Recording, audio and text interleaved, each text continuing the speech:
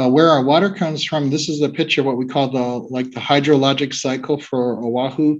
If you took a slice down the middle of the island and kind of looked at it from the sidewards, uh, you'd see uh, it would start with uh, evaporation over the ocean. Uh, that water vapor precipitates in the clouds and falls on the on the important watershed lands uh, that are Mauka and helps to recharge our underground aquifer and we were very blessed on in the middle of a very salty ocean, the Pacific Ocean. Uh, we have an abundant supply of fresh water, and it's because of this.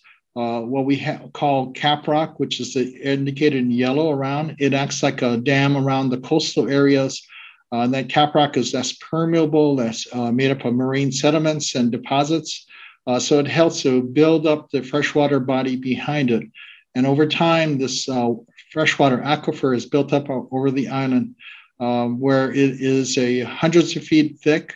Um, in the area of Kapukaki, uh, the elevation of the water table at the top of this aquifer, which uh, is about 18 or 19 feet. And when you think about it, for every foot above sea level, uh, there's like 40 feet of freshwater below it. So it's almost like an iceberg that exists under our island in the porous lava rock and that is the uh, fresh water that we uh, we tap for our drinking water. Below it is salt water, uh, and between the fresh and salt water is brackish water, where they kind of mix between each other.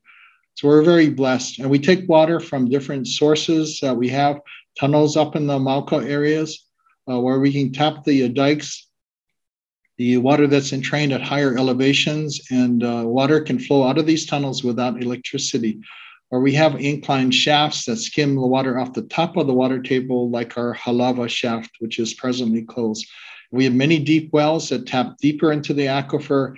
And near the coastal areas, like especially in Honolulu, we uh, punch a hole, drill a hole through the cap rock into the aquifer below, and water can flow freely uh, on its own under artesian pressure.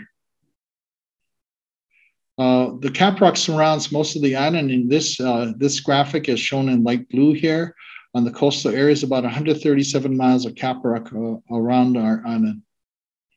And these are the different aquifer areas or hydrologic units in, in the Honolulu, uh, in the aquifers for Oahu.